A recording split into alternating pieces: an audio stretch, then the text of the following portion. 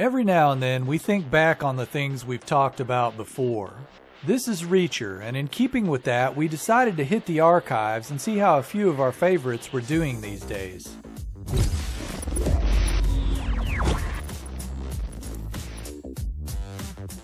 Number 15. This first entry isn't the only personal submarine on our list, but it's definitely the one that you can have the most fun in. The company offers three models inspired by sharks, dolphins, and orcas. Each has the capacity to carry one to two people, offering a panoramic view through the canopy as well as a live video feed from a snorkel mounted camera. Power comes from a 230 horsepower four stroke engine, which allows the sub to jump over waves, dive and glide underwater, perform barrel rolls, and breach the surface just like the animals they're styled after. Positive buoyancy means that it will always float to the surface and right itself no matter how it lands.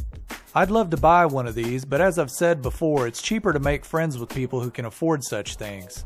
So if you're rich, hit me up on social media because the starting price on these things runs in the upper five figures. Number 14. This three-wheeled hybrid evolved from a design submitted at the 1986 World Expo in Vancouver, Canada by a group of Swiss students. Normally hybrid models have a standard engine coupled with an electric motor, but in this case the standard engine is replaced by a system of pedals not unlike a bicycle. Pedaling while driving enables the user to add up to 20% of the needed power directly to the drivetrain. The side-by-side seating arrangement allows the Twike to be driven from either side using the center-mounted steering controls. It has an average top speed around 50 miles per hour with battery options allowing for a range up to 350 miles. The company is currently offering the fifth model in their line of vehicles featuring a longer driving range and different steering controls. Considering the 20 plus years under their belt, it won't be their last. Number 13. This one is called the Wheelsurf, and it's unlike any wheeled vehicle you've ever seen. The first thing you notice is the seating arrangement. The ride inside design has a spot for a single rider to sit on the inner framework, which also contains the engine, drivetrain, and gas tank, while the outer frame is a rotating wheel with a solid rubber tire. The rider steers the vehicle using the controls while also shifting their weight as a counterbalance. It has a top speed of around 25 miles per hour, which probably seems a lot faster when riding due to the unique and open design. The company's website is still up and operating, but the last product listed is for 2014 with a current price around $9,700. Number 12. This entry from Dutch-based Drymer offers the comforts of a car with the sportiness of a bicycle. The three-wheeled pedelec has an open-sided hard-shelled canopy which surrounds the single seat. Column-mounted steering allows the rider to control the tilt of the front wheels while the integrated LCD screen monitors the battery levels and speed which can reach a maximum of 16 miles per hour while a single charge can provide a range of up to 45 miles. The company is still going strong offering this one at a current starting price around $10,400. Number 11. Japanese manufacturers tend to lean towards smaller and single person vehicles, so it's no surprise that Suzuki created its own personal mobility unit called the Pixy.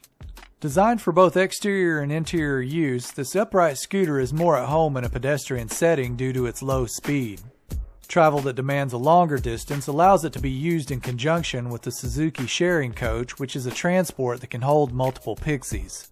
A large glass hatch raises to allow front access to an interior which keeps the rider in an upright seating position. The unit can be driven with the hatch open or closed with controls at each side on the armrests. Like most of the vehicles of this nature, this one never made it past the concept stages. If you like what you see, be sure and hit that subscribe button and click that bell icon to stay up to date on all of our latest videos. Number 10. This crossover is a mix of a tank, skateboard, snowboard, and surfboard. It's compact, powerful, and it can handle any weather and almost any terrain. The DTV Shredder has a pivoting deck that the rider stands on while holding onto the handlebars. It has a 14 horsepower four stroke engine and dual transmission system which power the rear driven treads, enabling the driver to conquer slopes up to 40 degrees and water up to a foot deep while still reaching speeds up to 25 miles per hour. It was recently approved for sale in the U.S. with a current starting price of $4,500. Number 9. I want to find the guy that built this and buy him a beer. This one from MXB is the fastest and most powerful of the three models they currently offer. And it's all electric, so yeah, more beer for this guy. It has a 48 volt battery pack providing a range of about 18 miles while the motor can produce a top speed around 28 miles per hour. A 5 inch suspension allows riding on dirt, pavement, or grass as well as hills up to 50 degrees. The company's website only lists a 2012 model but still allows you to go through the ordering process. Pricing, if you can still get one, is listed at $2,700. Number 8. Remember the big wheels we rode as kids and you could turn the wheel to slide sideways? Well, this is the adult version of that, only you can do full 360s. The Leaux Racing Trike has a reclined riding position with a front pedaling system. A steering handle is attached to one of the rear wheels, allowing the rider to drift, take tight turns on two wheels, and even spin 360s while carving embankments. The company currently only ships to the US and Canada with a starting price of $360, assuming you can get one when they're not sold out. Number 7. It's easy to see where the name Chariot Skates comes from when you see the oversized outer wheels on these things.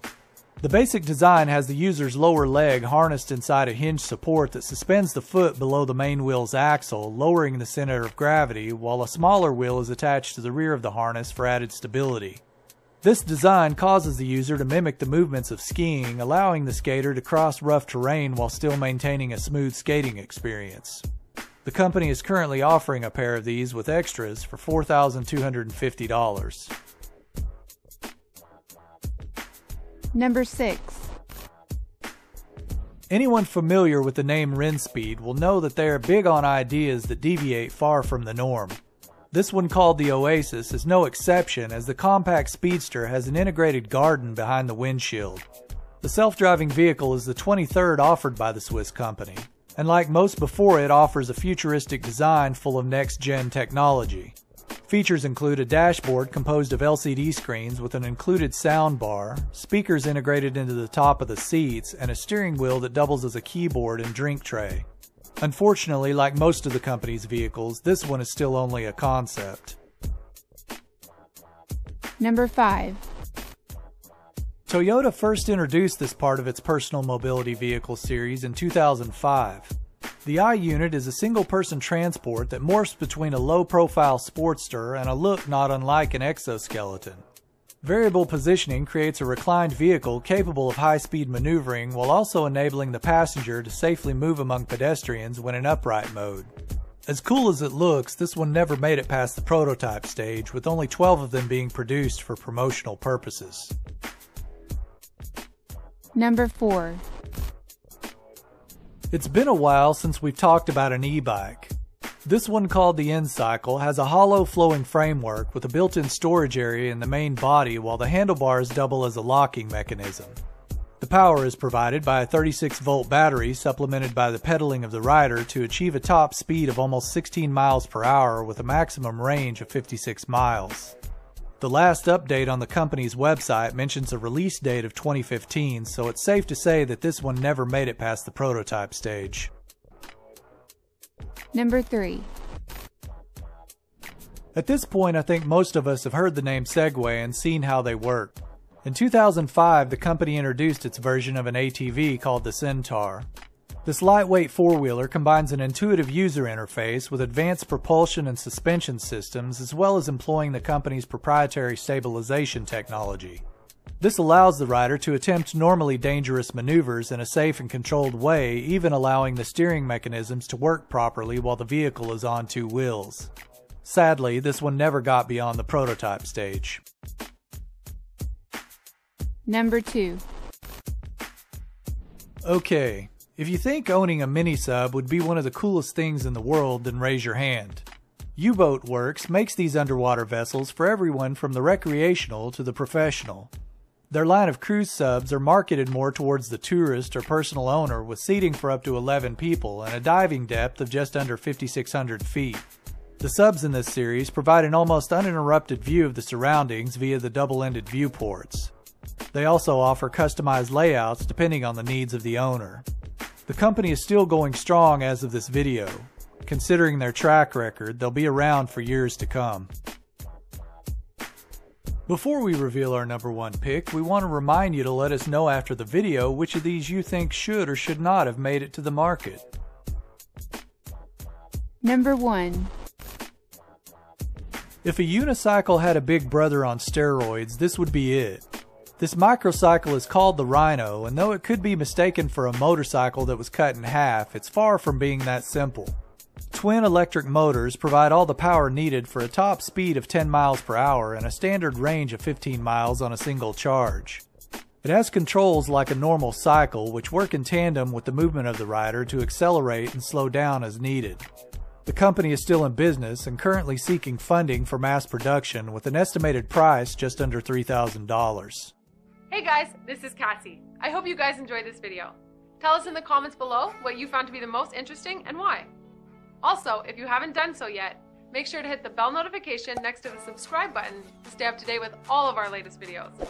Thank you for watching. I'll see you guys next time.